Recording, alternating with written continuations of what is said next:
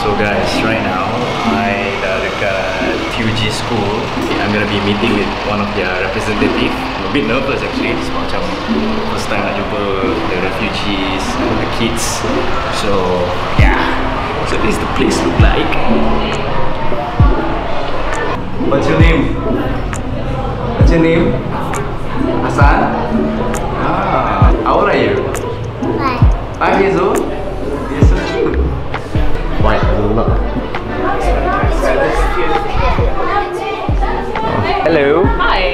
Yeah. You're Mil, right? Welcome to Fugee School. Full of children. Hold on. You look familiar. Do you recognize me? Yeah, I think I've seen you somewhere. Deborah? Henry? Yes. Wow. How did you How did What- you find us? How did you discover Actually, us? Actually from Instagram though.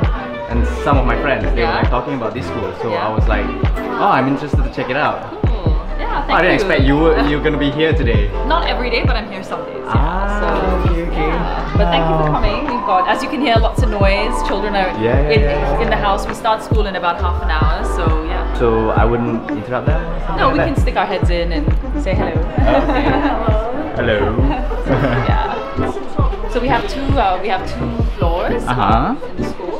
Right. And this is our second floor, uh, first floor. First floor, Um, alright. These are the classes here the back room, so they're all getting ready for the afternoon session. Oh, okay. So it's a very, it's a very full school. Like in a day, Yeah, it we is have, though. yeah, it's two floors, very small, and Uh-huh. in like one day we have over 160 kids who come in, who come through the kids. doors, yeah, Wow. to get an education. Wow.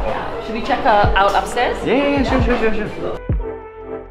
Paint everything themselves, I think? Yeah. So I, Oh. love, I love this. This is like our tree of our tree of wisdom. Oh, Um, alright. It was actually painted in collaboration with a, a Syrian refugee. He was not a student here, but he's an artist and a volunteer.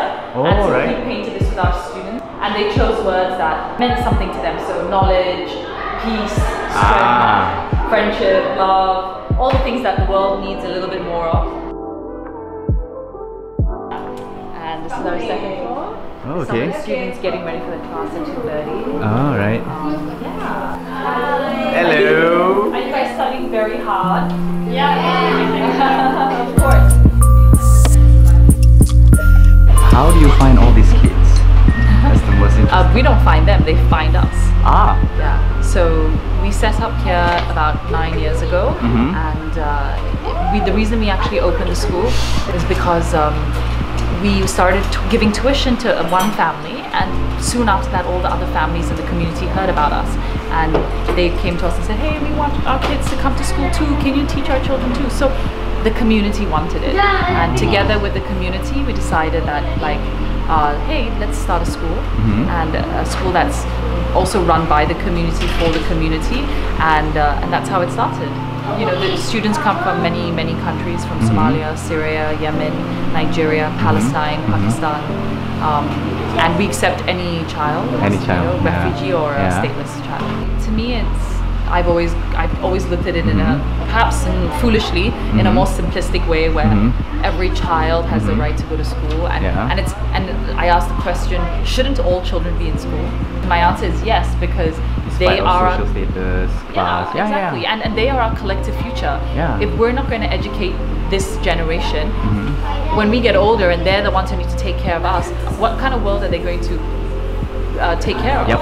You know and, and will they even take care of us Yeah, you know so right. we it is our in our best interest to ensure that this generation of, of children are educated are conscious citizens of the world Yep. they care about the world they care about the right things and the second point I always bring up is that you or me we could be refugees tomorrow Yeah, yeah, yeah. anyone can be a refugee it's Yeah, not like if you're poor if you're uneducated Yep, if you're yep. from a certain country anyone in any country you know it's a, it's a very in malaysia the problem is not a huge problem it's not something that's impossible to solve Mm-hmm. Yep. we need to just be willing Willing, yeah. to come up with solutions um, and I think we can achieve that. I, I think we have the resources, we have technology, we Of have course. innovation.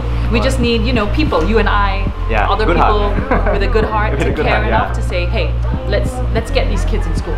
Let's make a let's find a way to get these kids educated. Yep. How how how do you get that conscious consciousness of like okay one day I'm gonna open the ah, school like Well, it was how? never. like? It was never one day. Right? When I'm 20, I'm gonna. yeah, yeah I know I know no, no, but like it was like there's always like you know like a moment. a moment like I'm gonna do this It how, was- how how does it happen? So I've always been I've always been very interested in, in social work, in Uh-huh. development, in Okay. poverty. I've always cared about these issues. To me, I remember when I was like 16 years old, I, I used to talk to my granddad. Uh-huh. I would sit on the swing in my house and talk to my granddad and like, you know, why does this world have so much greed and injustice? like I was one of those, you know, like a little Ah, bit okay. idealistic, Okay. and uh, let me change that or whatever. Oh, okay, so okay. I studied when I went to university. I studied Mm-hmm. political science. I was so I studied. I came. I think for me, my mo- the moment for me was when I graduated. I really felt this is something I want to do. And so when I came back, I really felt I need to do something. This is this is my interest. This is what Mm. gets me excited. You Ah. know. But then I joined Miss Malaysia. So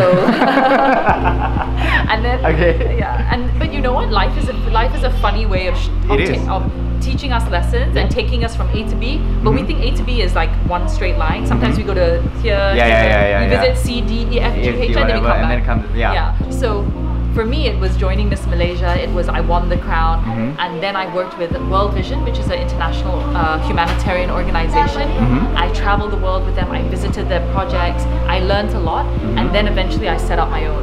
It's so interesting. Like one would think beauty queen, and then you, oh, you're just about world peace, and you know, you're just like, like superficial, like you know, like Oh, that. okay. Not at all. Yeah, yeah, It was, you know, it was very much uh, every. It's like the pieces of the puzzle just came Mhm. together very well, um, and it gave me a very good platform to talk Mhm. about things that are important to me. I think it was about two years, a year after winning in 2007, I Mhm. visited a refugee family, and I saw this family, and I felt so sad when I left their home. I it was this. I remember when I left the house, and I told myself I cannot walk away from this and not do anything. I can give them 50 bucks, but what's that going to do? Yeah. You know, I need to do more.